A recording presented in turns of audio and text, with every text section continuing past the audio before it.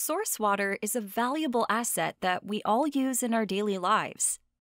Source water is the untreated supply of water from the surface or in the ground used for drinking water. The water flows from the source to a facility where it's treated and then to your home. However, there are many activities that can introduce harmful contaminants into the water, threatening its quality and potentially making it unfit for use.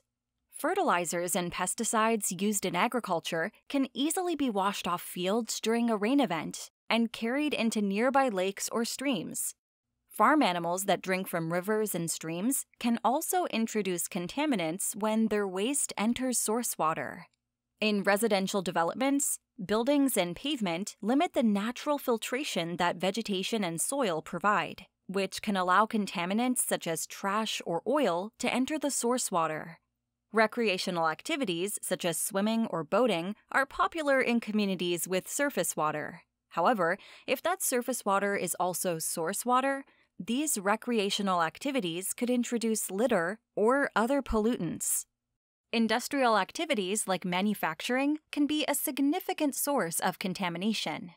Improper disposal of chemicals used in manufacturing can degrade water quality, these contaminants can affect everything from the largest water systems to individual private wells.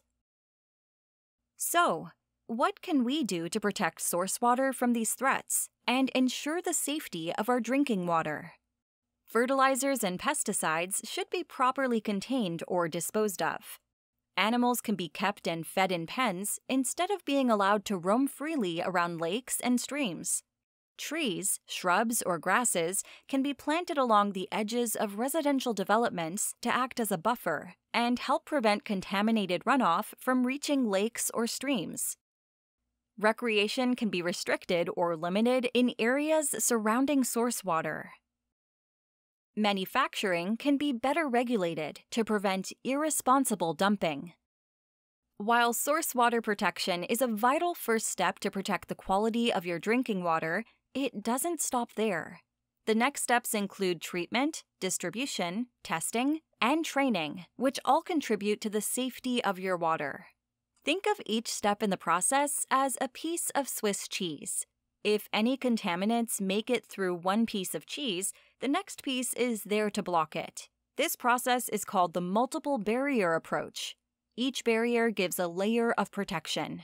And while each step is a good measure on its own, Together, they are the most effective in ensuring water quality. So, why focus on source water protection if there's other layers of protection? The process of treating water starts simple, but can grow more and more costly the dirtier the water is to begin with. Protecting water at the source not only ensures better quality, but also reduces the cost of getting that water from its source to your faucet. It's important for utilities and communities to think about source water as an asset, just like a pipe or a fire hydrant. These assets, called gray assets, are monitored and maintained so that they are fully functional and performing adequately. Source water is a green, natural asset and should be monitored, maintained, regularly tested, regulated, and protected in all the same ways to provide the highest quality drinking water.